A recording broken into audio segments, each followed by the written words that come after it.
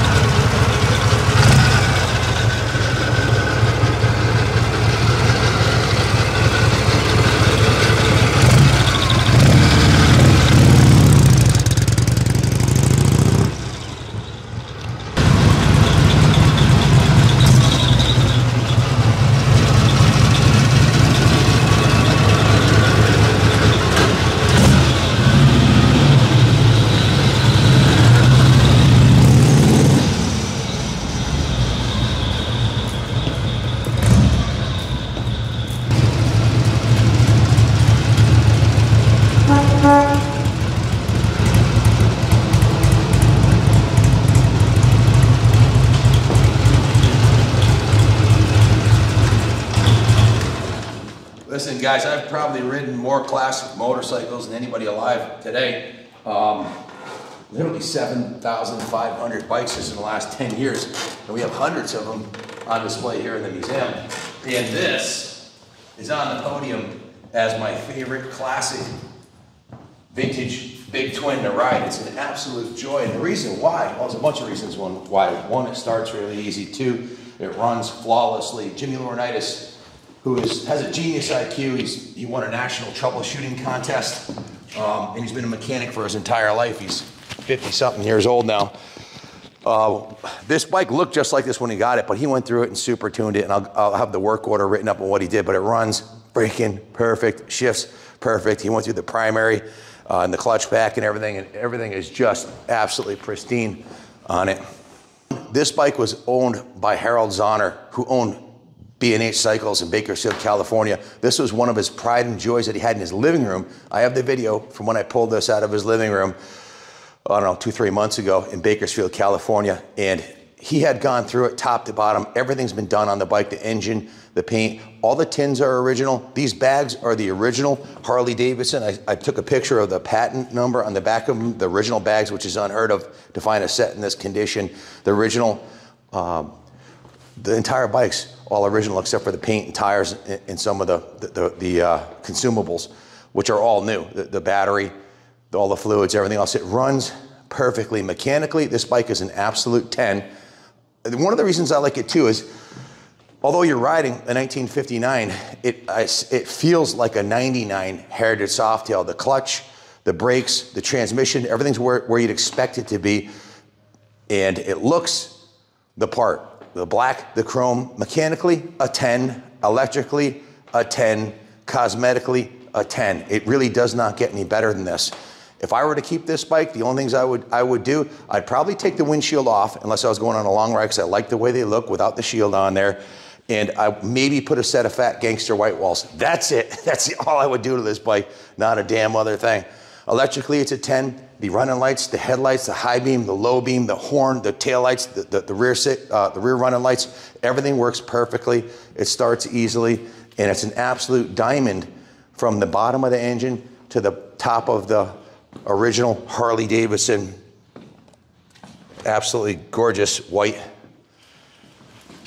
handlebar, uh, the chrome, everything on this bike is just absolutely beautiful. This is the second year of the Hydroglide, excuse me, the Duo Glide. This Hydroglide fork was originally invented in 1949 and they discontinued the Hydroglide model in 1957. I have one of those here at the museum. That was the last year of the hardtail. And let me tell you, in 58, when they came out with, with the Duo Glide, which has the Hydroglide front end, but it has rear coilover suspension, a much more modern frame design, very similar frame design to, to what they ran right up until uh, the, the, the, the, late 90s.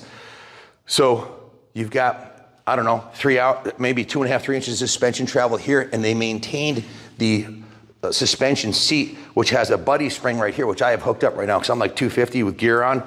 Uh, if you want even smoother ride, you can collapse this spring, just push it back.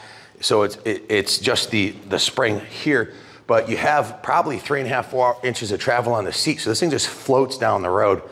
The, the, the, uh, the bar on the back of the seat here is super classy. We actually have a leather pad that goes on there too that comes with it for your, if you're gonna run a passenger.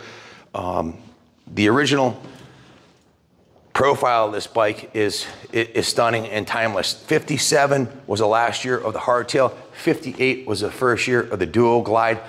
This is a 59, so it's second year. Anytime you buy a first year bike, there's always some, some bugs to work out. This was a second year model. All the bugs are worked out, and, and the panhead motor is a spectacular machine. I'd ride this thing cross country. Of all the bikes I have in the museum here, We've, we've got the, uh, the flathead, the knucklehead, the shovel heads. Uh, I've got several pans. Um, I've got an 85 Heritage. Of all the, the classic bikes I have, this would be my choice if I was gonna do a cross-country ride with a classic bike. Who values a lot of these classic motorcycles just did a report last month, I think it was, on the, Harley, the value of the Harley Davidsons versus Vin Indians of the same era.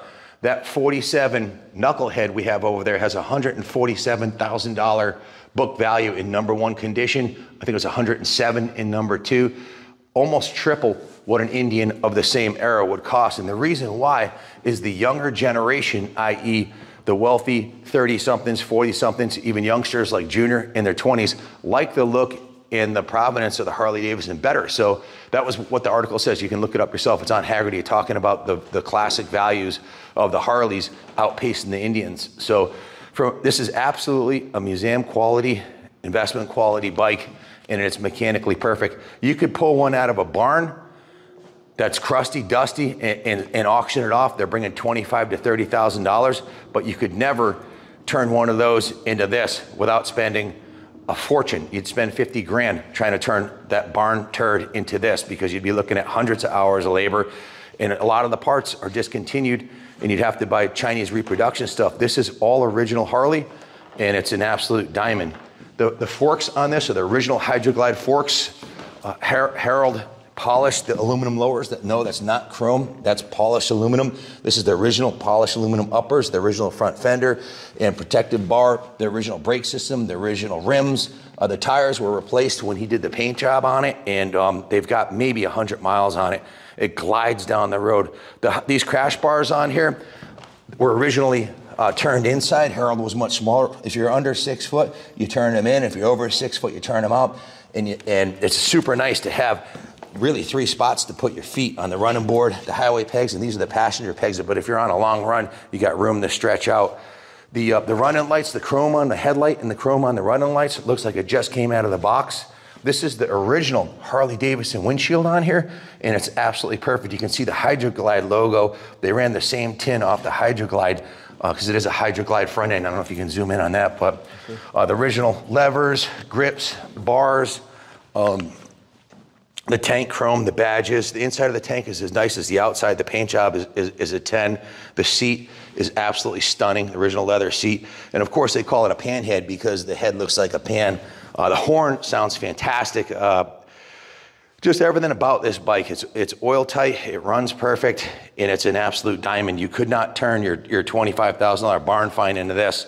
Uh, without spending a year of, of, uh, of time chasing parts. And where are you going to find a 65 year old set of saddlebags in pristine condition. These original Harley Davidson bags.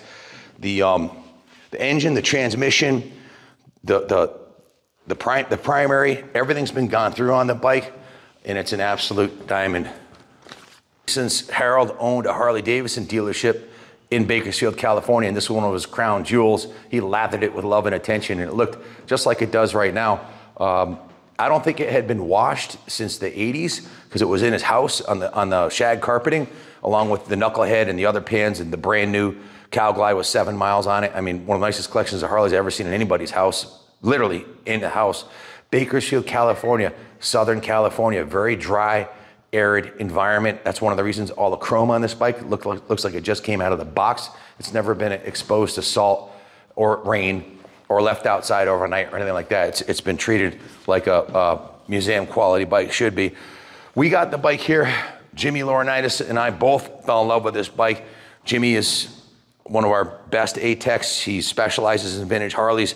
He had like a three week love affair with this bike and went, some of the stuff he did, I'm not sure it really needed, but I told him with this bike, I don't, I, if this bike doesn't sell, sell, it's staying here at the museum, and it's one of my favorite bikes to ride. So I said, go through the whole thing, top to bottom. So he did what we call a full rotisserie mechanical inspection. Every square inch, top to bottom of this was inspected. And here's the work order that took him about a, over 100 hours to do everything on here because it was on his bench for, for over three weeks.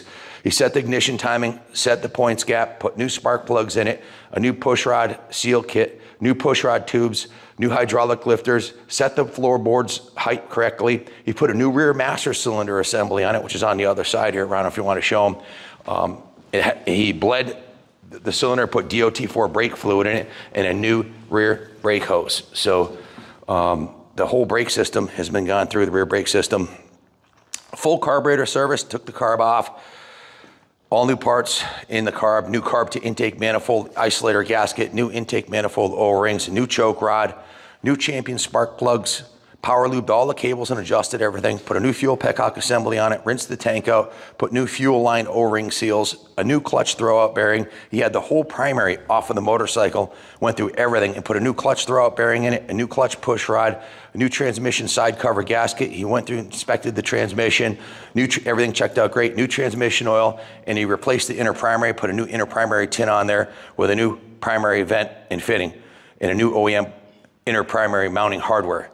He set the primary chain tension, adjusted the clutch, put in a new OEM style six volt battery, new battery terminal post bolts, did a full engine oil service. He changed the engine oil twice to flush it and make sure it was perfectly clean. He's run a 60 weight engine oil and a new oil filter. He flushed out the fuel system, cleaned out the tank. It's running VP ethanol free fuel in it. A new rear brake switch on it, and it, the chain was in good condition, but he upgraded to a heavy duty EK. Actually, I think the chain was new, but it had been on the bike since, he, since, since Harold um, put it in his, in his living room 40 years ago. So he put a new heavy duty EK chrome drivetrain. I don't know if you can you show him the, the, the can you even see it with the saddlebags on there? It's a new chrome EK. drive chain. The, the wheel was removed and cleaned in the in, uh, in the detail shop. Underneath the rear fender, inside, everything underneath there was cleaned with the rear wheel off of it. So this is given not only a full, a full, what we call a full rotisserie detail also. Let's see, um, it has a new OEM ignition switch assembly. Uh, and it has a spare key zip tied to the clutch cable, which I think you can see. Uh, he greased the seat post, installed the booster springs, set the tire pressure, and he road tested it multiple times with a big smile on his face and completely dialed in the carburetor. This thing's tuned, like I said, to the nines. It didn't probably didn't run this good when it was brand new, um, and if it did, it was it was set up right from the factory. We went through all of electrical functions, operate perfectly. The the charging system operation is perfect and a whole bunch of other things. Every nut and bolt on this bike was inspected and um, everything checked out 100%. The exhaust system is a classic fishtail style. It has a nice rumble at, at, at full throttle, uh, whispers at idle, has that, that Harley potato potato sound that you want. Uh, the luggage rack on here looks brand new. It has, I, I, left the California license plate on there. That's going with the bike. Uh, so and the last time it was registered was 1987. The original taillight, the original rear fender, everything on the bike, the chrome battery cover, even, even the hardware that, that for the buddy spring, if you look, everything's just freaking museum quality beautiful on this bike. And it's, there's lots of barn finds out there and there's lots of hodgepodge repaints, but to buy one from a guy who owned a uh, 43 bike collection, more than half of them classic vintage Harleys. And here's just to give you an idea that who, who who owned this bike. This is just a handful of the 42 bikes he had. This flathead, he used to bet his, his anybody who'd bet him at the bar, he'd put a $100 bill on the tank here and say, if I can't start this first kick, put your $100 bill up. I guess he took a few hundred dollar bills. Most people wouldn't think he could start a, a 1928 Harley first kick. He had it tuned to the nines. This is his knucklehead. Look at this thing. It's absolutely freaking gorgeous, okay? This bike's worth well over $100,000. This is the nicest shovel head king of the highway I've ever seen. It has 3,000 miles on it. He bought it brand new. It's an absolute diamond. Then he had a show bike. This thing is every nut and bolt. This is his hot rod, shovel head. The guys in the shop nicknamed it the titty bike. If you zoom in, you'll see why. Um, it's it's got a killer paint job on it, Dungeons and Dragons and demons and uh, the, paint job's sick, but um, that's a real hot rod. If you look at the brakes and the forks, everything on it. Then he had this 85 Heritage Softail. This thing's an absolute diamond also. So, and that's his service car over there, which is still a little dusty. We haven't serviced it yet, but it's absolutely freaking spotless. It's just got 10 years of dust on it from sitting in his, in his shop. That one wouldn't fit in the living room. So these are just some of the 43. And he had the seven mile cow glide which you'll see later today. I think we'll be filming that. Seven miles. Uh, and he bought that for his grandson and left it in his will. He left all the bikes, including the cow glide. He left the cow glide to his grandson. Harold left the whole collection to his family and his son and his grandson. And his son had serious medical problems, and uh, his grandson needed the money more than the bike, I guess. He's a young family, got three, two, two or three little kids that were running around. They're in the video from we're at their house. And uh, so he sold us the whole collection. But this, of all of the bikes to actually ride, the 93 Cow Glide and this Duo Glide are my favorite. The Duo Glide is an absolute freaking diamond. Um, unfortunately, you know, it's a, a major invest, six-figure investment to buy these 43 bikes and ship them from California. And then 100 hours of shop labor at our shop. We build 150 hours. There's 15 grand of labor between the, the, the, full rotisserie detail and all the work he did to it and shipping it cross country, it's a lot of work. Um, it's a lot of time. And if I could keep them all, I would, but we have to sell some of them. So if this one sells, great. If it doesn't sell, great. This also happens to be our color, our company colors now are black and red. This is a black and red Harley, the FLH logo, V being in red. Um, like I said, I wouldn't change a thing. I would probably take the windshield off because I like having my wind in, wind in my face. But if I left the window windshield on for a long trip, I like the fact that it's lower. It's lower than my face, so I'm not looking through a windshield. I hate windshields that are up over my head, especially if it, it just it just kills the riding buzz for me. But um, anyways, I think you know how I feel about this bike. If you have any questions about it, give my son Kenny Jr. a call. He's in the shop 9 to 5, Monday through Friday, 860 454 7024. Uh, this bike was set up like I was, like Harold Zahner built it, you know, went through this bike and maintained it for himself. He never had any intentions to, to sell it. It was a family heirloom that he gifted to his children and it only got sold because of the financial situation. His son had medical issues and medical bills. Matter of fact, he called me on a Tuesday and said, I'm going in for surgery next Tuesday. I don't know how this is going to turn out.